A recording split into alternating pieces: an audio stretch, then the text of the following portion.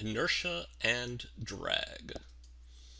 So animators call drag the effect that you see when something soft like hair or cloth or soft flesh uh, seems to trail behind the rest of the motion. So you can picture that in this uh, dancer's skirt or the tail of the horse as it's moving. Uh, if you have trouble picturing that, here's a little video showing this. So you see the uh, drag in the skirt and in the hair. Now, uh, drag in animation is entirely due to inertia, and so it's explained by the, the law of inertia. So uh, here's an example we've looked at before, a character standing on the bus. The bus accelerates uh, forward and the character seems to drag behind in this case. Uh, and of course, uh, in reality, the um, character, as seen from someone standing on the street, is actually uh, remaining in place by inertia, and simply the uh, bus is uh, moving out from, from under them. So from the point of view of someone sitting in the bus, uh, they look like they're falling behind. And to the person who's falling, they seem to be falling behind them. But uh, really, it's uh, inertia that's um, causing this effect. And uh, if we have a character sitting on the bus, uh, when the bus accelerates uh, forward, that character, her hair seems to drag behind. So again, this is just exactly the same effect as, as we just saw. Uh, and here's a just a quick video of that.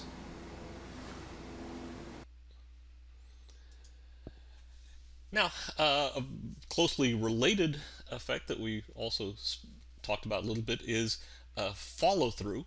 So if we have the case where the bus is moving but then comes to a sudden stop, so this is the, the reverse, uh, then the bus uh, has uh, decelerated, uh, the character was moving, and then the character continues moving.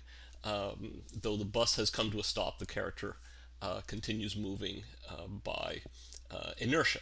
So the law of inertia says an object in motion remains in uniform motion until acted on by an unbalanced uh, force. So this follow through is explained by the law of inertia. And again, the character sitting on the bus when the bus comes to a sudden stop, uh, her hair is also seen to exhibit uh, this follow through. So that's just the reverse of what we saw with uh, drag. And here's a quick little video of that.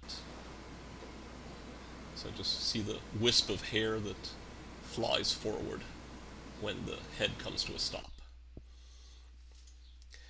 Uh, now, we have a similar uh, drag when the character uh, swings her head around. So the um, hair is uh, trailing uh, behind.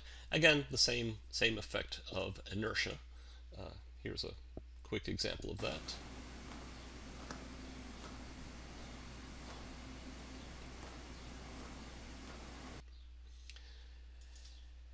Now, uh, there's another effect here that you may have noticed is that besides the hair dragging behind, it also uh, flies outward. And uh, if you watch that, that hula skirt video again, you'll see that uh, when I'm uh, turning uh, my hips, the hula skirt flounces outward.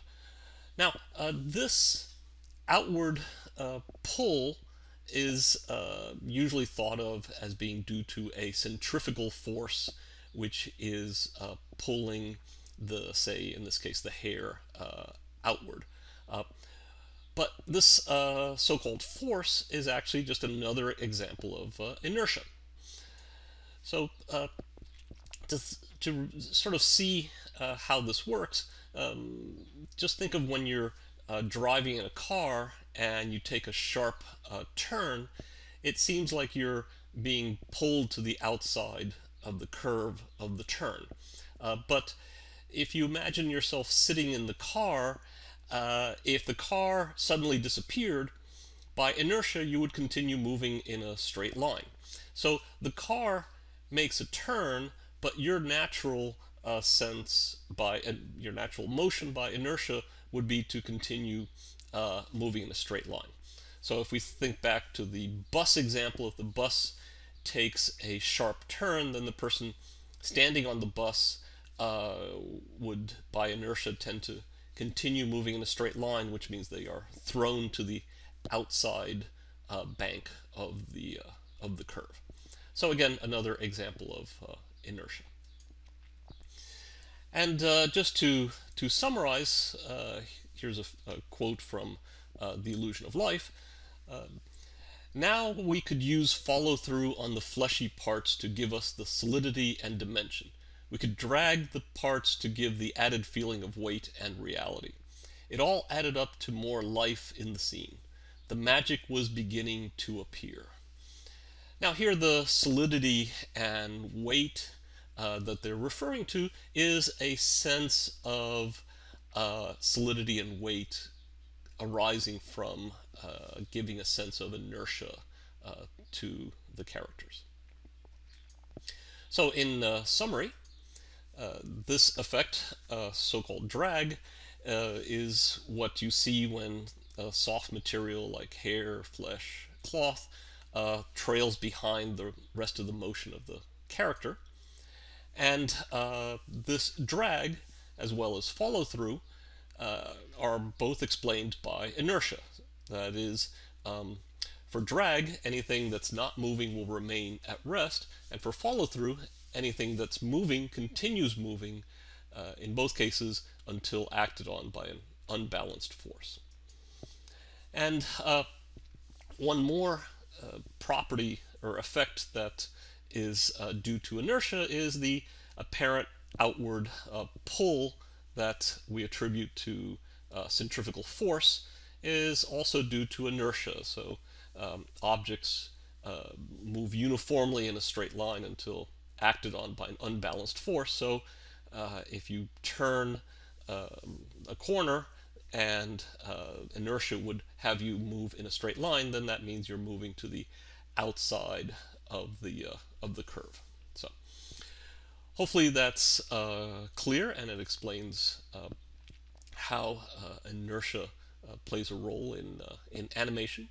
And in some of the upcoming tutorials, we'll talk about uh, when you have unbalanced forces, uh, what happens to the motion, what kinds of um, effects do you have, and the timing, spacing, and path of action um, due to unbalanced forces.